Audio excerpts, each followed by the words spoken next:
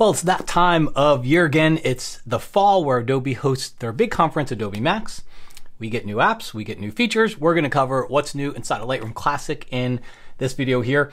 A couple things before we get started about the upgrade process, if you haven't done it already. So we're on Lightroom Classic version 15, okay? Not to be confused with Lightroom, which is on version 9. So Lightroom Classic is on version 15. So when you go to the Adobe Creative Cloud Updater, you're to look for version 15. It gets installed on top of it, replaces your older version. It does this automatically. You don't have to do anything about it. The one thing I want to call your attention to, and I got a little tip for you before the video even really starts, is you will have to upgrade your catalog. This happens every single year when we do this update.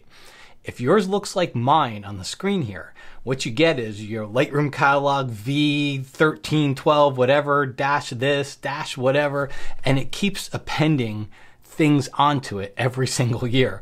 And so that number just becomes a mess. You can go, after you do the upgrade and all that stuff, you can go to the File menu inside of Lightroom Classic and choose Rename Catalog and rename it to whatever you want. So hopefully it makes a little bit more sense. All right, let's go ahead and get started. Now, the first feature I'm going to share is probably one of my favorite ones. I use it as a landscape photographer quite a bit, but you talk to a lot of portrait photographers and, and they use it as well. It's called variance. Let me explain the problem. Happens a lot in landscapes where you've got, for example, a sky. And depending on the sun angle, depending on a filter that you might be using, depending on how wide angle you shoot, sometimes you see a darker blue area in that sky and then you'll see it fade off, okay? To me, that's a problem, especially in a photo because we don't really have anything else to reference it by. So we look at this and we kind of get caught up on it. Now, you would normally find it under color mixer. You would take your eyedropper and you would sample a color. And then you'll see hue, saturation, and luminance shift, but now you see a variance adjustment in there as well. This made its way into Camera Raw a little while back, but it's now made its way into Lightroom as well. So you'll see that variance adjustment. The problem is if I use it here, it adjusts the entire photo. So there's a couple of tips for this one. Let's go ahead and get rid of that. Tip number one would be use it on a mask. So let's go to our masking tools. We'll make a sky mask. Once you make a sky mask, you'll see your point color panel inside of there. So you do it the same way. Take the dropper, click on a color, and then come down here. Now I can adjust the variance. So as I move it to the left, it really reduces the contrast of those, the variance, if you will, of those blue colors so they look more uniform. As I drag it to the right, we'll drag it back to center. As I drag it to the right, it actually increases that. Okay, so maybe you want that effect. Maybe you don't. You have fall colors and landscapes. I think you might actually want to increase it, uh, separate some of those color tones a little bit. But in this case, I want to reduce that. A lot of people find it useful on faces and portraits to smooth out some of the skin tones in there. So that's tip number one. Um, and then tip number two, which I found out from my buddy Brian Matiash, is from the Adobe engineers, would be let's say you wanted to do something else to the sky. So I've already reduced the variance in here. I've, I've taken it down so that it's a smoother blend in all those blues. But let's say I also want to make the sky brighter. Maybe I want to make the sky a little bit more saturated. The tip came from the engineers to create a new mask to do that. So go back there, go to select sky. And now if you are going to do that, even if you're going to work on those blues in there, go back in there. I don't obviously don't want to make it more saturated. It looks plenty saturated already, but you can go in there and do your adjustments on another mask to keep that variance adjustment essentially on its own uh, mask inside of there. Okay, next one up. Let's go into a photo with a lot of sensor spots in here in dust. Uh, again, this was another one that made its way into Camera Raw. Now we have it in Lightroom. If you go to your uh, little eraser icon to your remove section up there, under distraction removal, you can scroll down and you can see there's a dust option click on apply. It'll go through there. It'll find all of the little dust spots in your photo and automatically remove them for you.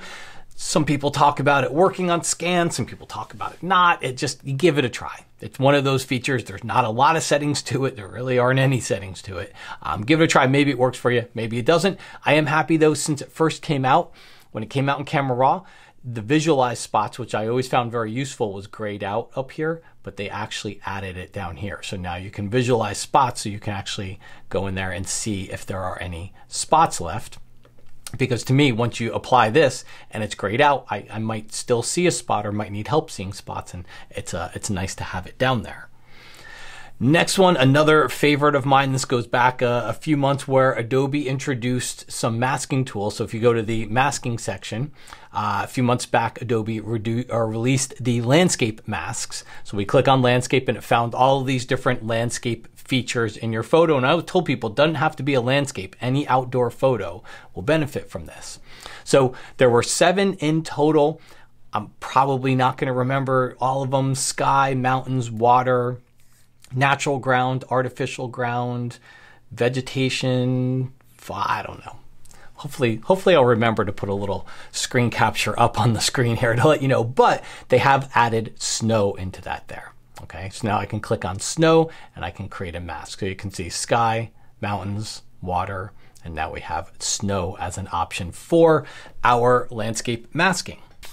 This is also the perfect time to tell you about my scene split mini course and presets. Uh, the masking that we, we have with the landscape masks that we have are available in Lightroom Classic, Lightroom, and Adobe Camera Raw. They all share the same masking tools, meaning they all share the same features. So now that we have a new mask inside of here, the snow mask, it was a perfect time to update uh, that little mini course and presets in there you get essentially two parts to it. You get the presets, which is your creative boost to either speed things up or give you ideas um, and creative ideas on how you can edit your photos for everything from the skies to uh, the foreground elements in there and really break apart your photo into all those different areas so that you can very quickly edit them. Okay. And then from there, you also get the mini course. The mini course explains what all these masks are in detail, shows you how to use them because it's, it's easy to just use them on their own, but once you start combining them and learning how to combine them with all the other masks inside of there, that's when masking gets really, really powerful. And you start to realize I can mask anything almost automatically using these adaptive presets and this adaptive technology in there. So uh, real easy course on sale now, super easy to get through, super easy to, uh, to watch and figure out. So hopefully you'll swing by and find out a little bit more. All right, let's jump back over here to the tutorial, uh, to the next feature, which actually it's really just an update or an improvement to an existing feature, but I found a lot of people don't know this feature exists, so I'll, I'll show it really quick. Go to your remove section, click on that little eraser. Uh, we'll go to the mode here and we'll actually click on the remove eraser icon. And there's a little checkbox here called detect objects. So if I don't use it and I just select an area, nothing happens. It just tries to erase whatever area I've selected in there. If I use detect objects, it's going to try to work with the boundaries of that. So in this case, what's improved is, is now I'll just go ahead and select the boat. And what you'll find is once you select your object, it will do a pretty good job of going in there and try to find reflections and shadows. Okay, so you see it went a little bit bigger than that. I'll just go ahead and click remove and we'll see how it does. It should do a pretty decent job in there, but mm, yeah, it's not too bad. Uh, but anyway, just again, an improvement to an existing feature inside of there. And it's a feature that I just found a lot of people didn't even know uh, existed. Okay, let's look to what I think Adobe would probably call the star of the show. Um, it's really mainly meant for for portrait photographers. Um, so I'm not really a portrait photographer, so it's definitely not a star of the show for me. But uh, I'll give you a quick introduction to it here, and basically just say I think you know over the next few days you'll probably see lots of videos come out. So maybe go to some of your other uh, favorite channels inside of there. And I think you'll find more information on this. I'm just going to give you a, a quick overview, which is called assisted culling. So it's going to be in the library module and you're going to find it over here on the top right. It says early access. You're going to click on it and open it. Uh, essentially what it does is when you first go into it with a folder, when you're looking at a folder, it's going to it's going to review the images. Okay. It's basically looking at the image information. Depending on how many photos you got in that folder, it could take a while. Okay. So it's going to review that information. Then you start to get some options in here. What do you want to do for selection? Do you want to select uh, subject focus? Do you want to do it based on eye focus? Do you want to do it based on eyes open? So I'll go over here and do eye focus. Okay. And then you can essentially change this to whether you want them really sharp or really soft. All right. In my experience, I, I, I move it over to sharp and it deselects so many photos. You can see all the little X's inside of there. And when I look at one compared to another one, they both look really good to me. So if I were to look at that one, I were to zoom into both of those. Uh, essentially, they, in my experience, just take my word for it because I don't want to waste too much of your time here. But they generally look the same. I'm sure it works. It's it's Adobe does a good job with this stuff. It's just not something that that I would use a lot down here. So this is what photos do you want to select? Uh, what photos do you want to reject altogether? Okay, so you can see there's a couple of options in there. And then do you want to view just the selects? Do you want to view the rejects or do you want to view them all? Okay, so that's just a very, very quick introduction to assisted culling. It really is meant more for portraits now. I expect this to grow. It, has got to grow. There's other programs out there uh, that do this, and now Adobe's in the game, and you know uh, they're going to definitely take it up a notch and start to compete with some of those other apps that are out there. So I definitely, uh, I definitely expect to see this grow over time. Right now, this is the uh, first iteration of it. What I will say is there's also uh, there's also an option in here for stacking. So we're going to go to another photo because for this, I find you don't necessarily need, it's not just portrait based. Okay, so we'll go down here to stacking and you'll see there's an option to auto stack. Okay, so assisted culling pretty much useless for this, but we go down there to stacking to auto stack.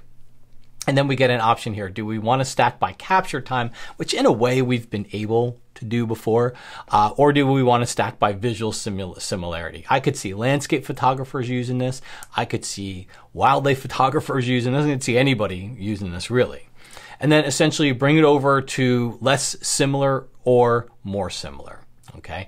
As you move that over to the right, you're going to get more stacks. As you move it over to the left, you're naturally going to get many less stacks. And you can see uh, the number listed in each stack there. So this seems to be the sweet spot for this photo shoot, but again, that's going to probably be, be different for every one of them that's out there. Uh, the last thing I'll do is I'll put up the screen that, that kind of pops up when you first install Lightroom Classic or the update, the new version of Lightroom Classic here. I'll throw up a screen because there's a lot of other little features that aren't just things I would cover in the video. Uh, reflection, the reflection removal, it's just improved. It doesn't, there's no new features to it. It's just improved. Uh, there's camera support, there's improved tether support, improved performance, all those things. So you can read a little bit more about that and always refer to Adobe if you have any questions. Uh, the last thing that I'll point out is that Lightroom Classic's not the only thing that was updated. If you're a Lightroom Classic user, chances are you're probably a Photoshop user. Uh, if you're looking to see what's new inside of Photoshop, I did a separate video on that, so that's a great place to go to next.